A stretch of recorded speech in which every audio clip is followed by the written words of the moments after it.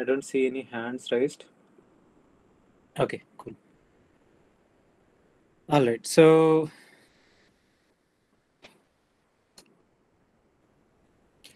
Web 3.0, right? What is Web 3.0? Um, we already talked about it briefly. So, internet evolved uh, from wires and networks to static websites. Um, this was Web 1.0. I'm just recapping a little bit from what we discussed the other day.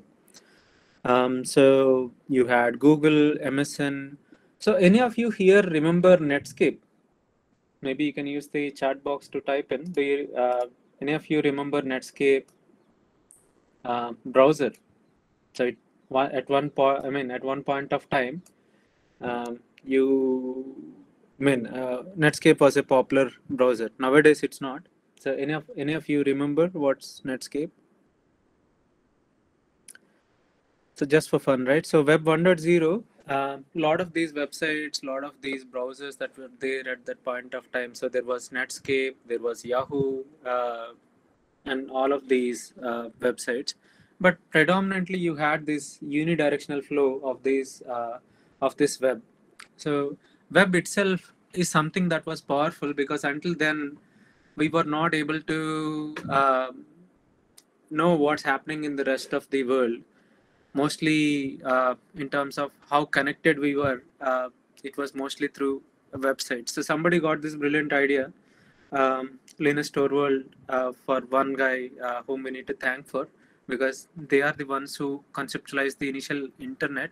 But at the time it was very difficult to conceive what the possibilities were okay?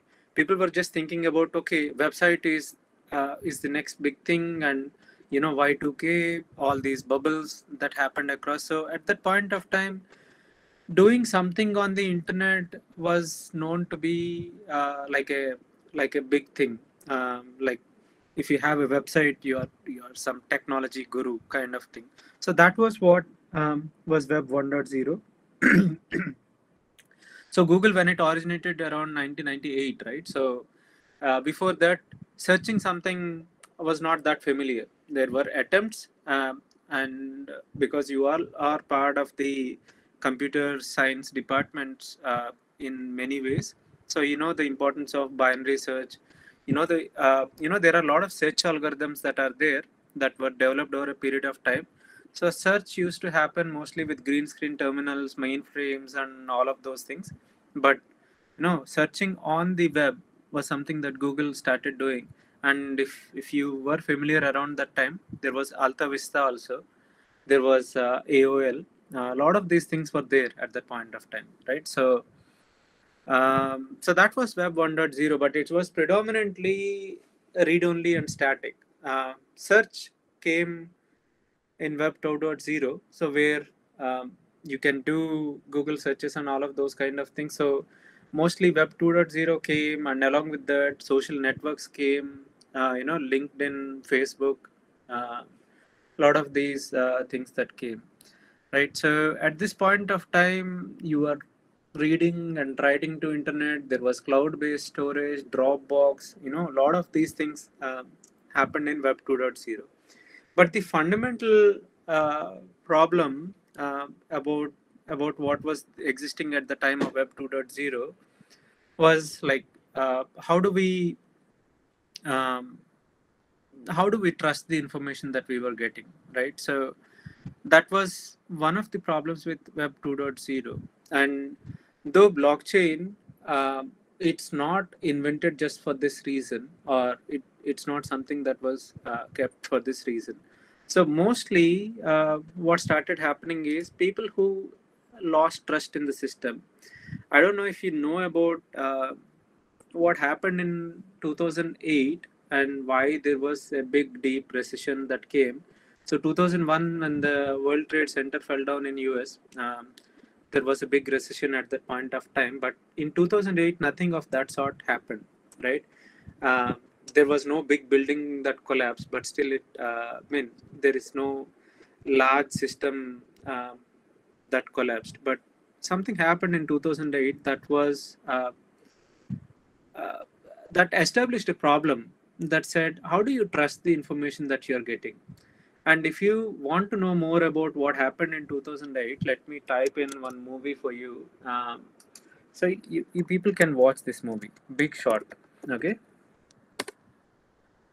So if any of if any of you saw Batman, Christian Bale, uh, so he's the same hero in this movie also, but it it explains very very easily how the system was fudged.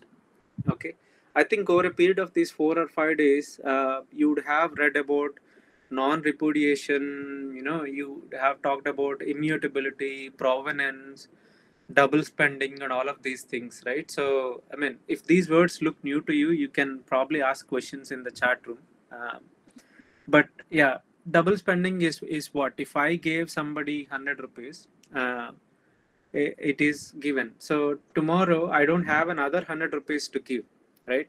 But what happened in 2008 was I gave 100 rupees and then uh, I gave another 100 rupees, but originally I only had 100 rupees. So it was a lot of uh, inflated value of money that led to the subprime, subprime crisis. Okay, how is something that happened in US affecting um, our lives in India, right? So, uh, so with the global connected world, the global economy that is there today, of how the money flows, right? So something that happens in another country is easily affecting us. So today, if you look at chip shortage for car manufacturers, so nothing happened in India, but uh, car sales are affected. The prices are going up uh, in terms of whatever uh, is the reason. So some event that happened somewhere across the world can affect us today, and and that's how connected we are on the web, right? So how do you trust that information that came? Um, so part of that is Web 3.0, uh, but Web 3.0 is not a not a single organization web. Um, so it's more like all these things. I mean, how many of you recognize any logos that are there here? Can you see what logos are here? Uh, can you recognize some of them? I believe you should be able to recognize this because we talked about. So what's this uh, logo? Just try and guess.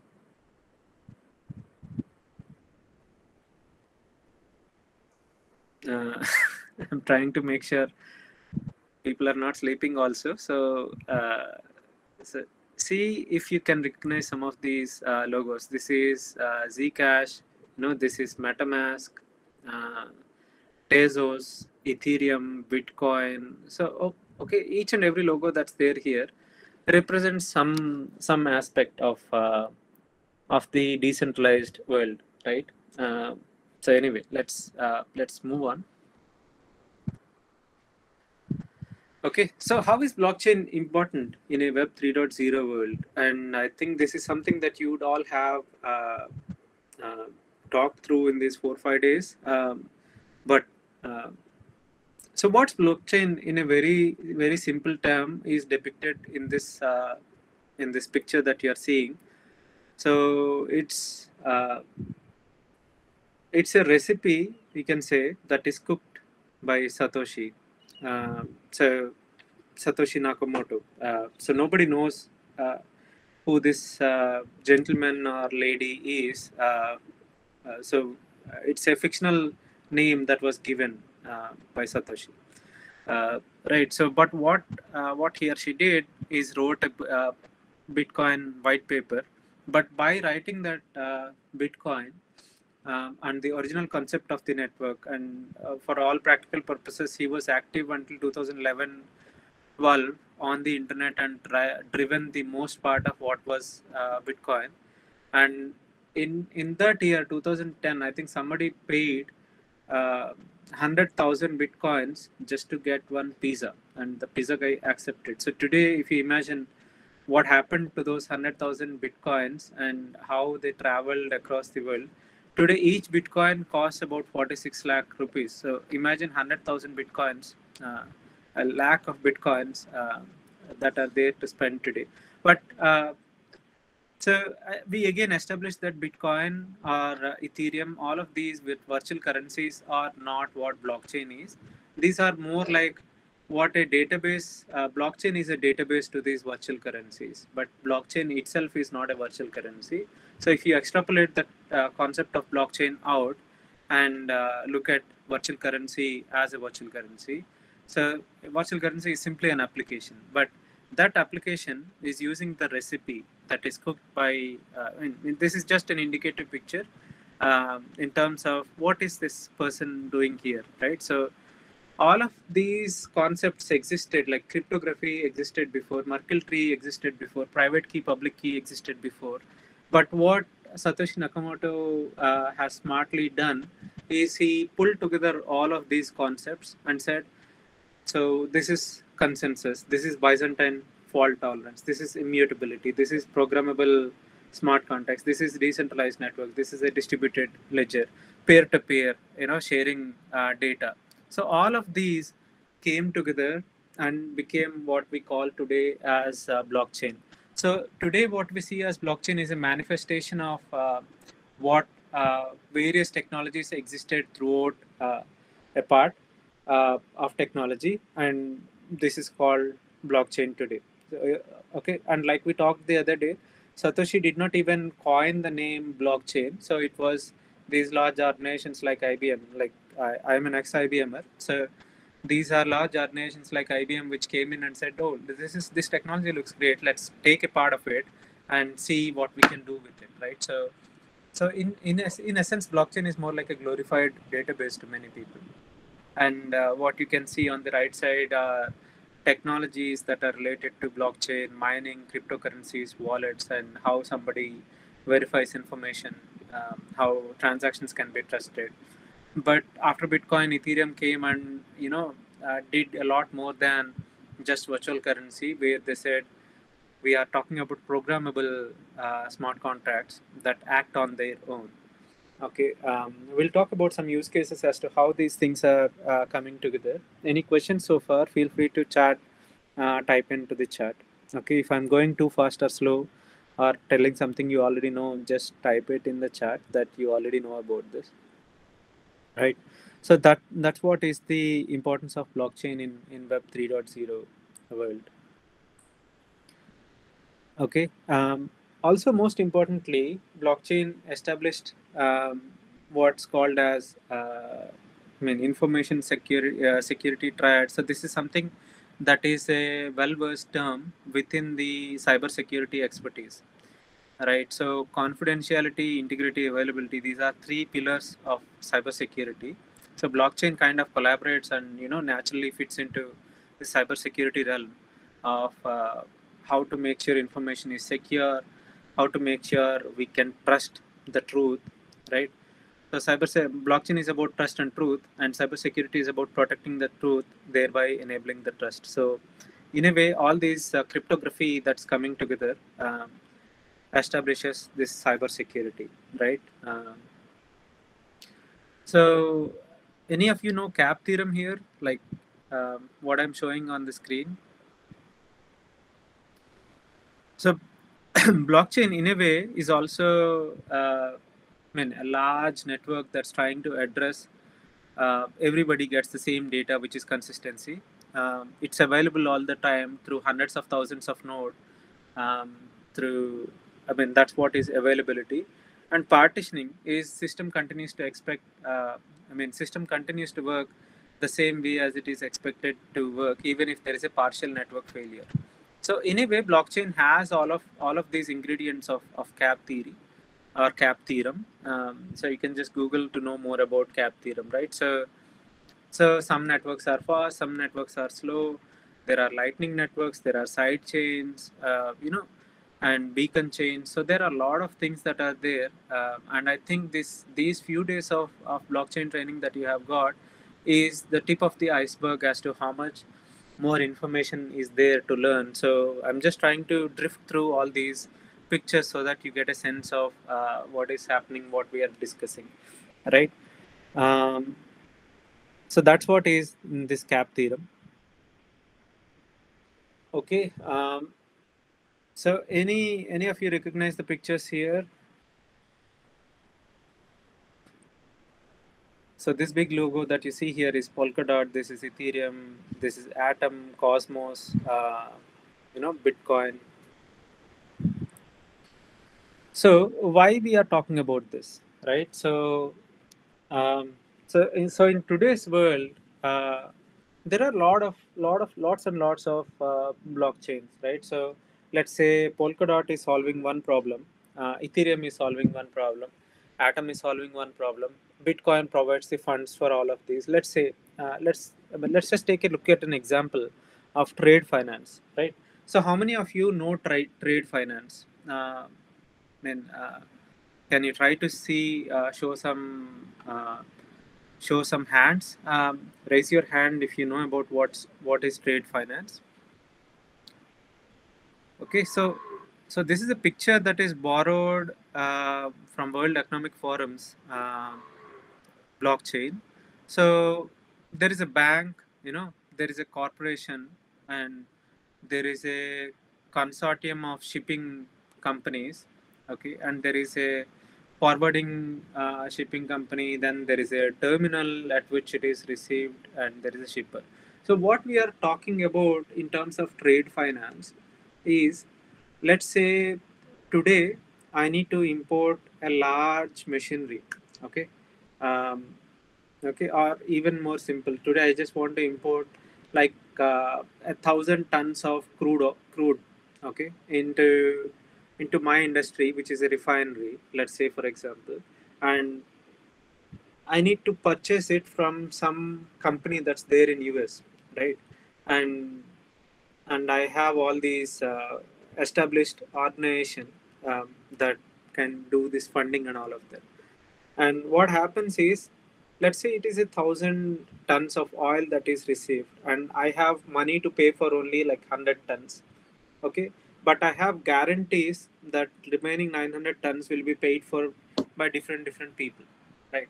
What happens in that case is my bank uh, so my bank enables me to get the finance for remaining 900000 meaning what happens is when i need to pay someone in us and pay that through my bank what happens is all of that money is paid for by my bank under the guarantee of the supplies that I uh, that I guaranteed to the bank, right? So trade finance, what happens is whatever amount, let's say for these thousand tons, I need to pay one million dollars.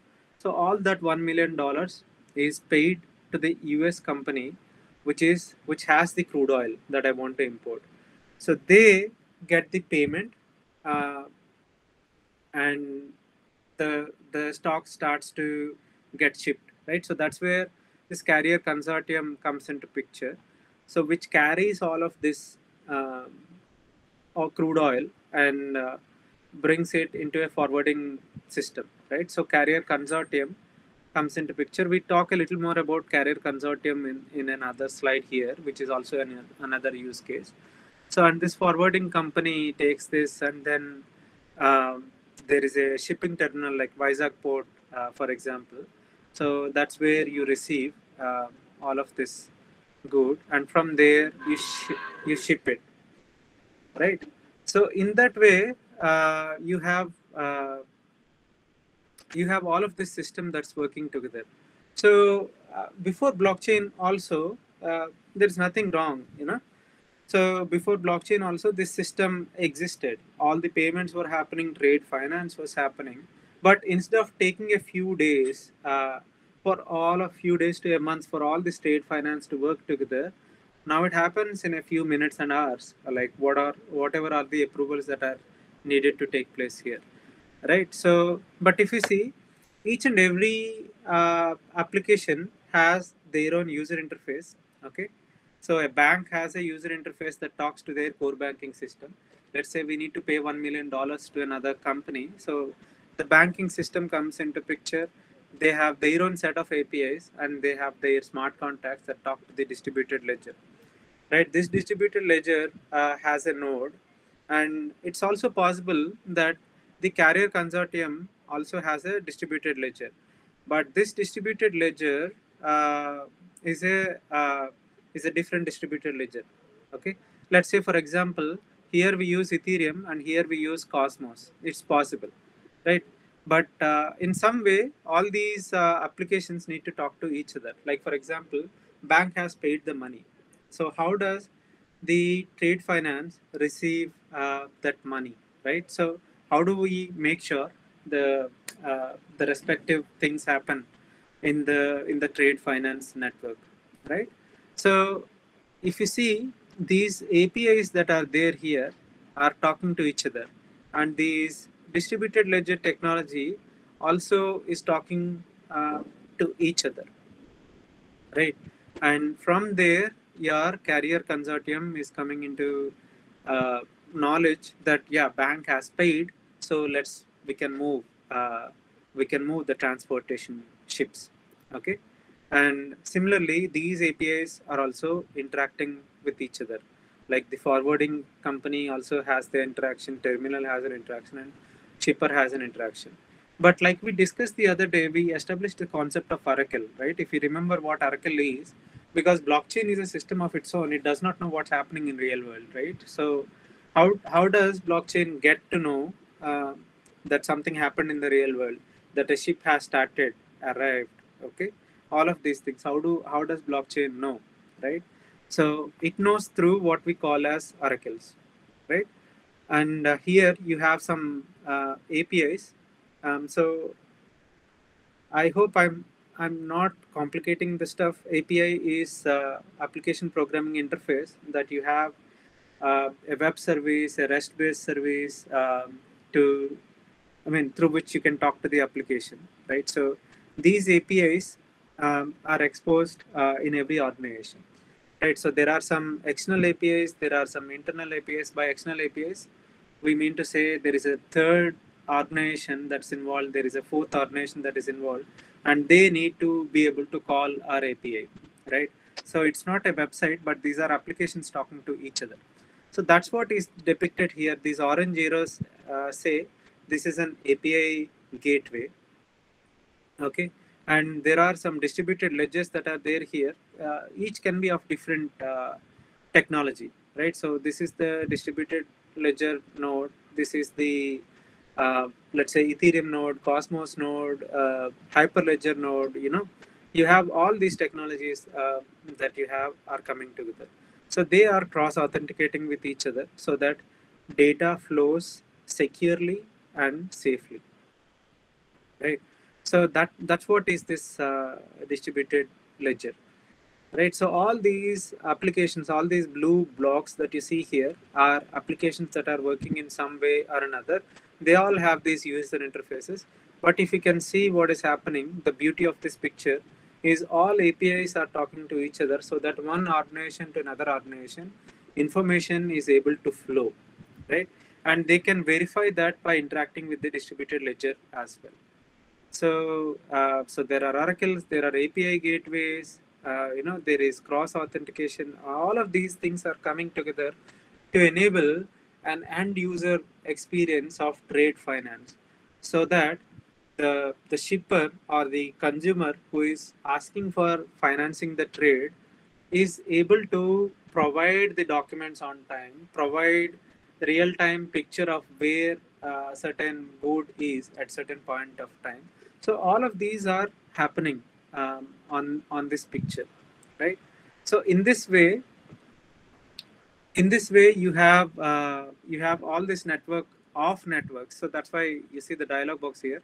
So this is a network of networks. This is not one network. Bank has a network. The corporate has a network. The consortium has a network. Forwarder has a network. The terminal has a network. Shipper has a network. All of these are different, different networks.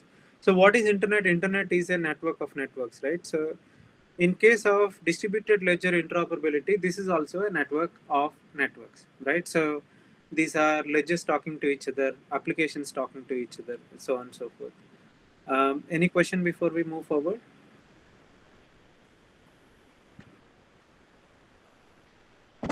So let's change the uh, picture, right? So all of these distributed ledgers uh, are happening in some way, right? So before um, before uh, distributed ledgers, what used to happen is there is a central server and it is connected via the internet to various devices and that is uh, what is web 2.0 in other words right? So what started to happen is your uh, decentralized databases that that we call as distributed ledgers they exist across internet now. So that if uh, so if you remember the other day we talked about uh, peer a peer b peer c. So all of them are distributed ledgers right? So someone comes and tampers with the information. It cannot be easily tampered with. That's what is the immutable nature of the application. So these devices instead of directly i mean internet is anyway given in case of a distributed ledger right? So it's it's no longer uh, uh, no longer something that is alien to us. So internet is is already there taken for granted across all of these applications right? So these distributed ledgers exist across the internet and um, that's how the processing happens with them. And that's how all these organizations that are talking to each other are able to interact with one another using this system okay so that's what is uh, centralized and decentralized uh, internet that we have here right? And uh, just to give you some context this is the sample architecture um, that we already discussed. So if you are talking about a distributed ledger a smart contract an api a logistics application and then a ui all of them actually manifest into some kind of an architecture that looks like this. The ui layer the middleware layer database layer you know shared ledgers of distributed ledger uh, technology so all of these come together to, to provide us with what we actually want to do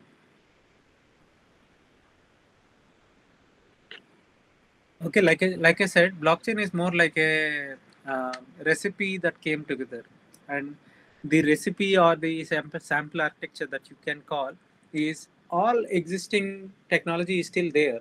Blockchain is not going to replace any of them.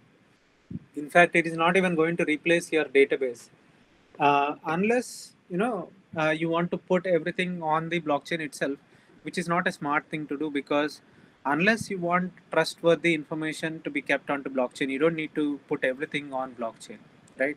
So if you have a list of uh, countries okay that's not going to change. Uh, you don't need blockchain to store a list of countries. List of products that's not going to change. But how much certain product is available that uh, needs to be trusted right? That information needs to be trusted. So that can be put on as a transaction onto blockchain. So uh, this is where it, it comes into picture right? Um, just one second. Uh, okay so that's what is our distributed ledger. And uh, like we discussed the other day blockchain is blind. You can put any kind of data onto blockchain but uh, it's it's the data that you need to be able to trust. So as much as possible you need to use computer vision artificial intelligence internet of things distributed ledger technology together to be able to create an application or a solution that uh, that works safely and securely um, and does not give room for manipulation of data right? But blockchain if you give it wrong data it is still on blockchain. Blockchain does not differentiate between bad data and good data. Okay that's why it is blind. So as people who are putting information onto blockchain we need to realize how do we make sure the entry point into, onto blockchain is as safe as it can be right? So that's what uh, i mean that's why blockchain is is blind. Uh, we need to make sure that all all things that can be done together all technologies that can be done together uh, are are taking care of each other's uh, trust. Right? Um, so we already talked about the different types of distributed ledgers. We talked about public distribute when public ledgers. We talked about permission. We talked about permissionless. Okay? Each of them has a uh, you know has a different uh, way of enabling the technology. Uh, let's say for example if bitcoin uses proof of work ethereum is also using proof of work but wanting to move towards proof of stake right? So uh, bitcoin and ethereum are mined uh, and you know each and every day more uh, coins get added or more currency gets added whereas ripple um, is like pre-mined okay when whoever invented ripple said okay i'm going to put all these 10 million ripples uh, at once. Uh, I don't need mining here. I'm going to use different kind of uh, consensus algorithms. So they did it another way. Hyperledger Fabric on the other side, which belongs in the permission and uh, private network side. So uh, said, see, I don't really want to call myself as uh, dis- blockchain. So I'm more of more like a distributed ledger, right? And then IOTA came into picture and said, I'm going to enable more internet enabled sensors and integrations that come into picture. And I can provide uh, trustworthy information using whatever smart contracts and other mechanisms that, that are there with me to enable a public and a permissionless uh, blockchain. So the last uh, known update about IOTA is they are moving to a coordinator-less kind of a network, and uh, that's when they can really become a public and permissionless uh, kind of blockchain, right? So these are the types of distributed ledgers. Okay, and while I, while I was saying Bitcoin and Ethereum use blockchain, uh, so that's the reason why we need to call this as distributed ledger primarily because whatever we are assuming as blockchain is this, uh, you know, is this uh, linear structure that you have, like previous node, uh, node number two, node number three, four, five, uh, sorry, block number three, four, five. So all of them are connected together, but they are like a linked list. Okay, by linear, I mean to say you have them expanding one after the other. And that's where you need uh, mechanisms like Merkle trees to be able to traverse through which block. So let's say if Rishi uh, has like hundred dollars and he's spending fifty dollars out of it, then how do I know there are hundred dollars in Rishi's account? Right, somewhere on any of these blocks, um, that information is available. So Merkle tree helps us traverse through uh, that data uh, based on. I mean, those are uh, incredibly complex uh, algorithms that come into picture. Okay, um, so let's say uh, you as a college faculty are trying to think okay do i need to know about all of these complications that are there behind? Um, so the answer is you need not okay? You need not know about all the complexity of how uh, merkle tree works if your interest is building solutions on top of blockchain. If you are building a blockchain then you need merkle tree but if you are building solutions on top of blockchain, like the applications that we just talked about, then uh, you don't need to know about Merkle tree. You don't have. To. So today in database, uh, there are lots of things within the within the database, right? Rack servers, uh, you know, uh, high availability, all of these. Okay, if your intent is is only to use the database and you leave rest of thing to the database administrator, you can think of a blockchain as the same thing, right? Uh, are you looking at it from a user point of view or are you looking at it from a building a blockchain point of view? And yesterday we have seen uh, day before yesterday we have seen coin market cap where there are about 8400 plus uh, cryptocurrencies that are there on coin market cap right? So those are just the list of cryptocurrencies and like we discussed blockchains uh, are not i mean exist outside of cryptocurrencies as well. So in real world, the applications that are being built on blockchain are way more um, than any of these currencies that you that you see. Right. So if blockchain is this uh, linear structure, distributed uh, acyclic graph. So I mean, you can just Google it once. Uh, I mean, once you get some time. So the, the DAGs on the other side. Um, so IOTA uses them. Uh, and there is another algorithm called as hashgraph uh, Hedera. So they are also something like a distributed essay, directed acyclic graph. So they also use this. So all of this information that exists here uh, are, I mean, this is known as tip and each, uh, so uh, IOTA uses an interesting concept. They don't use something called as proof of work, but they use something called as validating reward.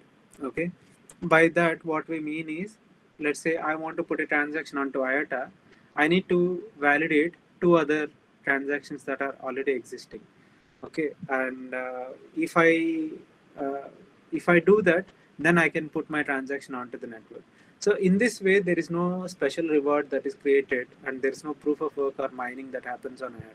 So it's an interesting technology um, that is used by IOTA. So you can look it up uh, in your leisure time. My responsibility is more about how do I uh, how do I enable you with the knowledge. Uh, so we cannot put all the zillions of data that's available on the internet uh, about knowledge of blockchain into you within these four or five days, right? But if you know there is something called as directed acyclic graph, you can go look it up. You can join these Discord networks. You can join. I mean, you can talk to IOTA coordinators, or you can talk. I mean, you can join these communities that are there, uh, which are working all the time from various countries to show you and to to publicize, uh, to train, to evangelize all the data, all the details about the network. Okay. so why knowing all of these is important is your solution that you are trying to build may fall into any of these categories.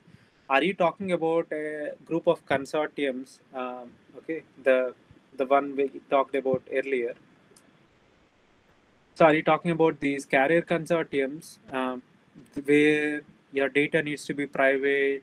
It should not be exposed beyond these uh, five or six members who are part of the consortium, or you are okay to put things on public uh, network. So depending on that, you will choose the blockchain um, that you want to use. So that's why knowing the types of distributed ledgers and placing your solution at some point here um, will help you choose the correct blockchain. So otherwise, there won't be these many blockchain technologies that are available, right? These many implementers will not be available. These many platforms will not be available. So it it would be your responsibility to choose from any of these platforms, okay, to build solutions for you. Okay, let me take a pause here and see if you, any any of you have any questions.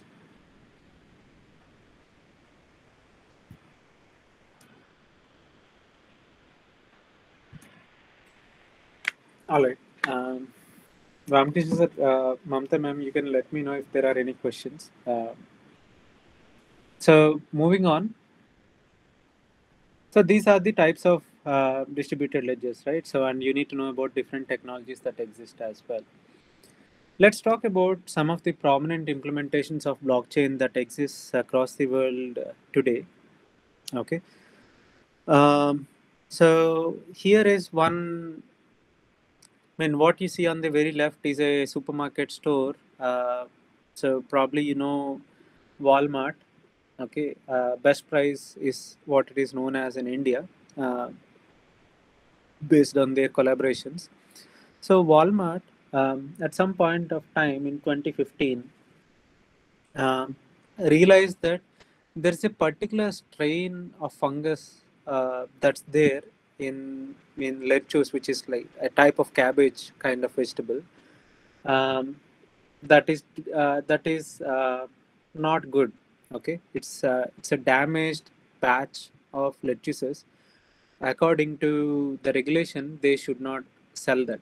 Okay, uh, if it is, I mean, if it is not consumable or it is not good for customer, um, they should not sell that but at that point of time they did not know where it originated from uh, uh, I mean and which batch of this lettuce was bad so what they had to do across their thousands of stores in in US is they had to throw all of that lettuce out okay?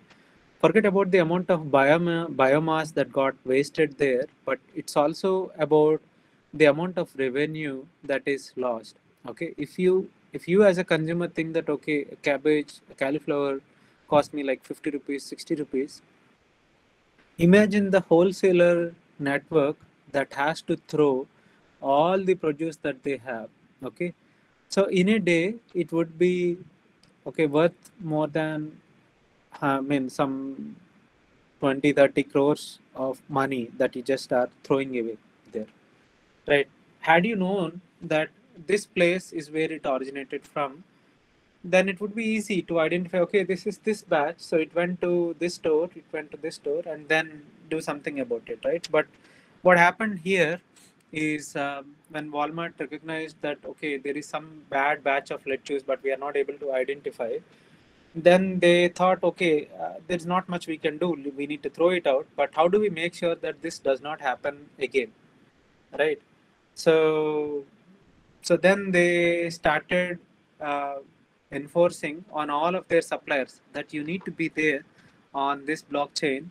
Uh, whichever product you're sending to us, you need to record it on blockchain, which we will also verify. And you know they are built, they have built um, this uh, farm to blockchain uh, network, right? So Walmart tracks this today. So another example um, that was uh, trying to quote is TradeLens. So this is a platform that is uh, that is built by Maersk. So if you see shipping lines, um, especially if you go to uh, like like Vizag Beach or you know you can go to any of the uh, terminals ports uh, across the world. Maersk is one of the globally renowned uh, shipping companies. Okay, and if you don't know, um, what happens um, at uh, at these shipping lines is they need to provide uh, the proof of trail that okay i have come from mexico i brought crude oil okay i have come from united states i bought uh, t-shirts okay i have come from uh, ghana and i bought wheat right so let's just say these are all the shipping ships that stand outside for, for local context. Let's say they are standing outside Vizag ports in the in the sea, and what happens is the port authority takes their own time to be able to verify that okay, did Singapore port uh, send this? Uh, uh, I mean, it, did the customs of Singapore port authorize? Okay, so there are bill of lading lot of lot of things are there and each and every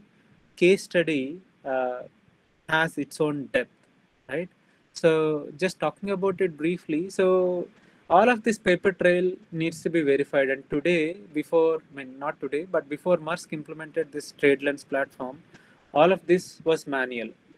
Okay? And uh, sometimes the ships had to wait three to four days outside in the sea uh, to gain entry into the port, right? So it's not like uh, toll gate where the ship come, I mean, where your car goes and you swipe your fast tag and you get charged.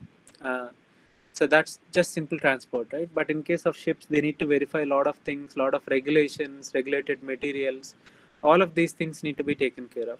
So TradeLens, um, what it did is it digitized um, so you can say that okay, uh, this uh, problem uh, can be solved without blockchain also. But what Maersk did is uh, so there are two kinds of solutions which people all, always look at, right? So one is called as greenfield solution, another one is called as a brownfield solution. So you can see this greenfield, brownfield being used in the name of names of airports also. By this, uh, what they really mean is greenfield means you have an open canvas you can plan what whatever you can you can do if it is a technology solution you are talking about nothing of that sort exists today. Uh, you are building a brand new application right? So you're building a brand new airport. That's why they're called greenfield. Um, so brownfield uh, in this case what happens is something already exists. You're trying to improvise enhance and migrate all of that exists and move on to something else.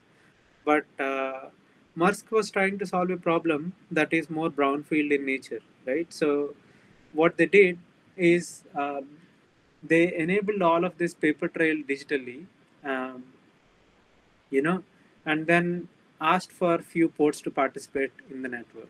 Asked for few shipping companies, logistic manufacturers to participate in this network, and people happily jumped on uh, to this solution, primarily because if it is if I am a shipper and my ship is standing outside the port for four days i'm paying for all the 100 crew members that is that are there on that ship i'm paying for uh, the cost of running the ship i'm paying for the diesel and i'm paying for the international license cost. So lot of factors, right? So just to keep the uh, ship standing outside the port, let's say it costs me 30 lakh rupees a day, right?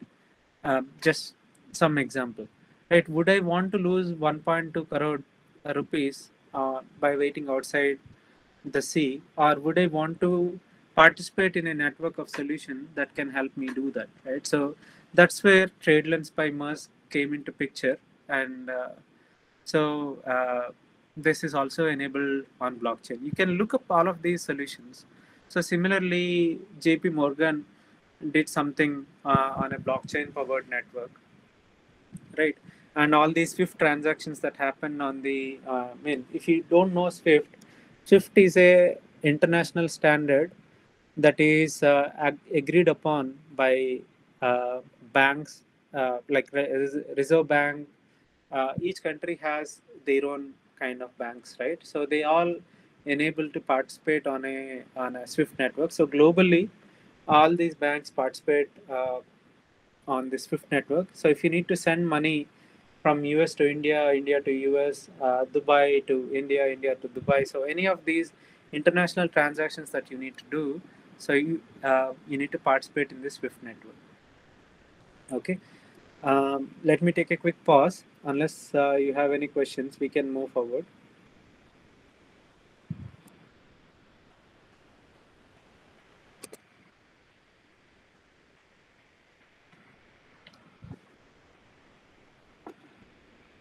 I'm assuming no questions, so let's move on. So similarly, there are some uh, ongoing implementations of blockchain. Switzerland's uh, stock exchange is trying to put their stock trades here. Tracr uh, is the is being used by De Beers Group to track diamonds because it's a precious commodity, right? Diamond is a precious commodity, and to be able to verify the authenticity of a particular diamond, it's important. So Tracr is being used. Aliyar Bank uh, is starting to integrate all their official documents um, using blockchain. Okay, so in this way, there are several ongoing implementations, right? So, so this is what is happening across the world. Uh, so let's also examine um, is blockchain the go-to solution for every application that's being built, right? So every solution that we are building is blockchain the necessary part of uh, all of these solutions, right? So so that's when we need to ask ourselves, is every solution needing blockchain, right? So the answer to that, I don't know what's there on your mind, but blockchain is not a silver bullet. Okay, the the name silver bullet is used in case that it can be used for any anything. Okay, blockchain is not for every solution that exists, right? So it's not like take everything that's there in Web 2.0 and do, uh, put block put them on blockchain and call it Web 3.0. Not like that, right? So do not use blockchain if you don't think it is necessary to implement blockchain in the first place. Okay, and uh, so do not decide to implement blockchain first and then think about a business solution. Look at your business solution, then think about whether blockchain should become part of it or not. So business problem always comes first. Okay. On the right hand side, you can see there is a tree which asks a few questions. Is there a need for a shared common database? Um, so in case of the first example that we took, um, let's say the shipping company, you know, the, the banks, um, all of these uh, organizations that are working with each other, if they decide that there is no need for a shared common database, then do not implement blockchain, right? So only if the answer to that is yes, move forward. But there are uh, subsequent. I mean, this is called a due diligence, right? So uh, every every green arrow that you see is yes, uh, go forward. Every red arrow that you see is no, reevaluate that decision. So that's what is happening here. So reevaluating uh, the decision is needed at every step. So if the answer is no, reevaluate, reevaluate the need. Are multiple parties involved? If the answer is no, do not use blockchain. Do, do the parties involved have conflicting incentives? uh, and uh, mistrust each other, then uh, I mean, if the answer is yes, only then move forward. If the answer is no, don't don't use blockchain. Are there differences in rules um, that govern these parties? If the answer is no, do not use. Is there a need for an objective, unchangeable log of records? Then uh, go forward. Otherwise, don't no need. Do the rules behind transactions really rarely change? If the answer is yes, only then go forward. If not, uh, reevaluate. So all of these, if the answers are yes, then these are suitable use cases uh, for blockchain. Now, similar tree is developed by World Economic Forum. Um, so what you see here uh, is like if you are trying to remove intermediary or I mean, so blockchain's popular use case is disintermediation. Okay, by disintermediation, what we are what we are saying is uh, we are removing the brokers uh, of non-essential value, right? So if you are removing them, um, if the answer is yes, then move forward. Are you working with digital assets versus physical assets? If the answer is yes, move forward. Right. So in this way, I think you can understand that can you create a permanent authoritative record? The answer is yes. Do not use blockchain. Right. So here, if you see, all of these are saying do not use blockchain do you require high performance rapid transactions blockchain cannot do this effectively it's still being you know performance wise it's still being improvised do you intend to store large amounts of non-transactional data part of the solution? The answer is uh, no. Then blockchain research may further be needed. Do you want to? So in this way uh, there are lots and lots of these questions. So once i share this uh, ppt uh, with you guys um, maybe you can go through them in detail and, and see when when blockchain is needed to be used and when it's not to be used so i mean especially in the academia what happens is uh, to learn some technology it's good to learn but again when you are applying uh, we need to be able to do enough research to say whether solution is needing blockchain or not okay and also always uh, one second. So always try and remember this piece, right? So blockchain is augmenting what you already have in the solution. It's it itself is not the solution. So you already have your uh, user interfaces, middleware, and database layers, but uh, whether you need blockchain, you need to use these decision trees to be able to decide uh, how to how to move forward, right? So with, with that said, um, let's see if there are any questions. And uh, that brings uh, that brings to a conclusion most of whatever I'm, I'm trying to share here. Um, if there are any any details that you uh, want to know more about, um, we can talk about uh, them.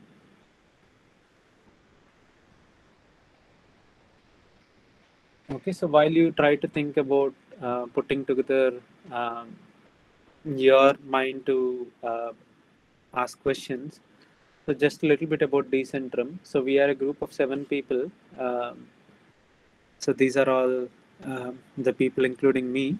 Um, so we all co-founded this community together. So we do cohorts that look like this, um, like a few meetups. Um, like level set, foundation, and concepts. Then real world use case selection and uh, architecture and scoping decisions, and then uh, building a solution by collaborating with each other, and then concluding with a with a large scheme workshop. Um, so we'll be doing a hackathon also uh, soon by working with another organization. These are some of the use cases that we have built. All of them are available on Git uh, repository. So Krishi chain, good Goodshare, block, identity management, cold chain, and uh, smarter law violation preven uh, prevention system, and the uh, decentralized economy. So all of these are um, something that uh, we are part of, and I, I mean, like I have already mentioned.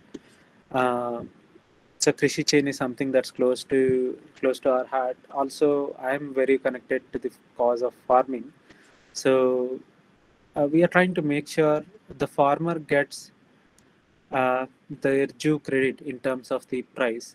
Um, so probably it's not hard for you to think that the tomato or the potato that you buy from your nearest uh, vegetable outlet, you might pay them 40 rupees, 50 rupees, but the farmer who has uh, who has spent a lot of energy um, to to produce something uh, like producing a tomato takes two to three months uh, and lot of care and nurturing for the for the plants.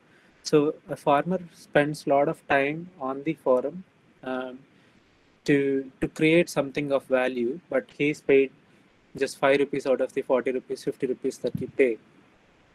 And uh, uh, it, it's not the farmer that benefits it's the intermediaries that uh, that benefit from all these sales. So we need to do our part in how do we solve the problem. And anyway connecting that uh, idea is what is krishi chain. So it's a distributed uh, autonomous marketplace for trading of agricultural communities. Um, so so yeah that is about decentrum.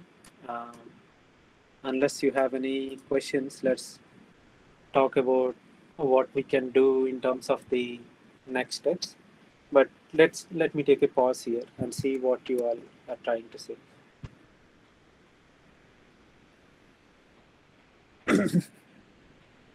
so Rekha ma'am you asked about uh, some more insights on tangle. Uh, let me see what what's there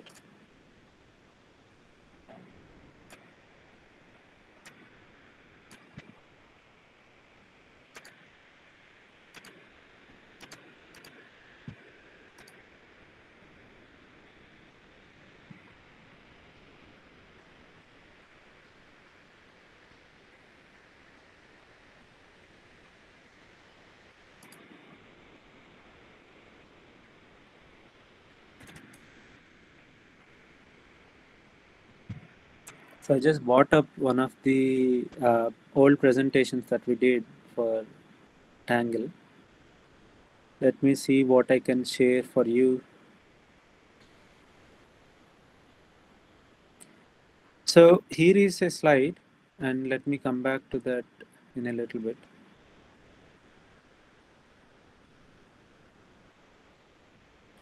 So let's just talk about directed acyclic graph, right? So the difference in case of uh, directed acyclic graphs is uh, they are not linear in nature. So collection of I mean, what is called uh, as a directed acyclic graph is this is a collection of vertices and edges, right? So what is a vertex? Uh, this is the transaction uh, that's there. Okay, this is more like a data structure. Edges are like uh, these arrows that are going out these tips are unapproved transactions. So for example uh, it started uh, from 6 and went to 0 let's say that for an example right? So more transactions that are uh, that are getting validated uh, so more uh, you know more authentic information exists on the network without spending a lot of uh, you know a lot of uh, energy and expending like uh, like proof of work right? So when a new transaction joins the tangle it chooses to uh, two previous transactions to approve.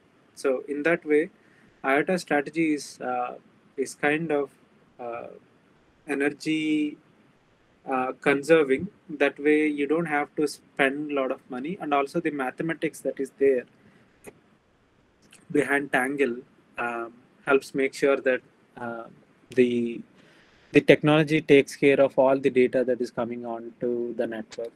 Uh, I'll see if I can share with you some IOTA references.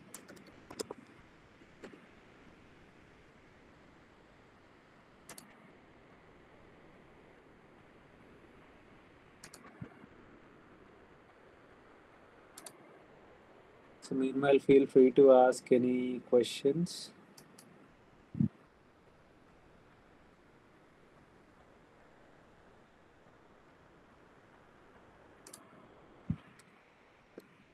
Okay, I'm just pasting the reference for IOTA. Uh, you can go through them, uh, get some more details on Tangle.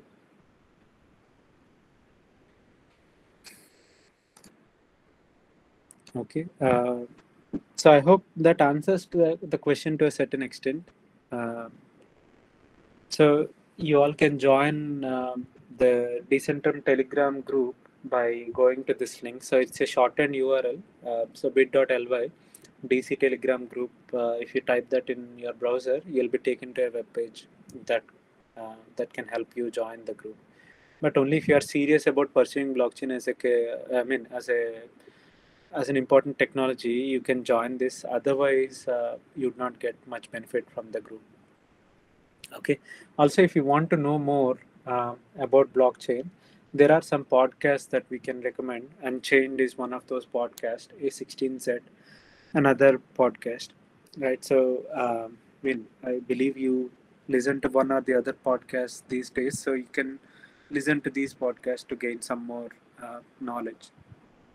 Um, and eventually, I think uh, whether it is academic projects or whether it is a research project that you'll be working on with the students, um, you probably will be building a solution with blockchain in the mix. Um, so remember, I'm I'm not saying a blockchain solution. I'm saying building your solution with blockchain in the mix, because there are no blockchain applications. There are applications where blockchain can be used. So there is that subtle difference of understanding about blockchain um, that you can use to make sure uh, your solutions are built for business, not just for proving some technology exists.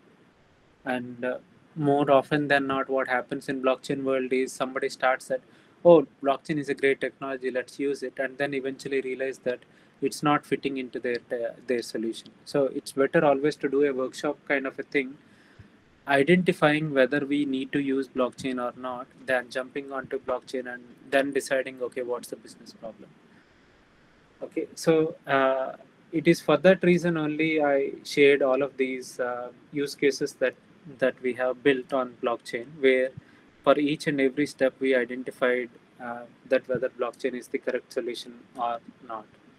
Right so that's the reason why i showed you examples of where blockchain is being used and uh, you know uh, and show detail you about what is happening here in terms of this trade finance uh, platform as well.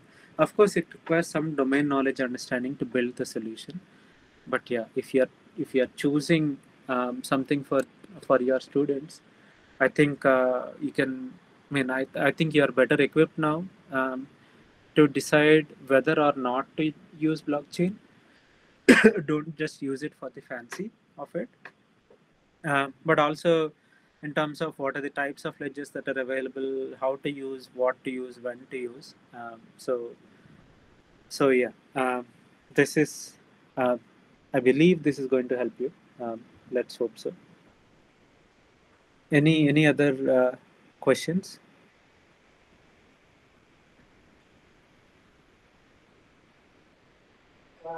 Sir, uh, very nice session, sir. Mm, Actually, thank you sir I have one doubt, sir, regarding API gateways. mm, Somebody is uh, uh, wantedly uh, inserting some uh, SQL injection attacks and all over the Okay. uh, bitcoins, uh, that kind of blockchain um, process.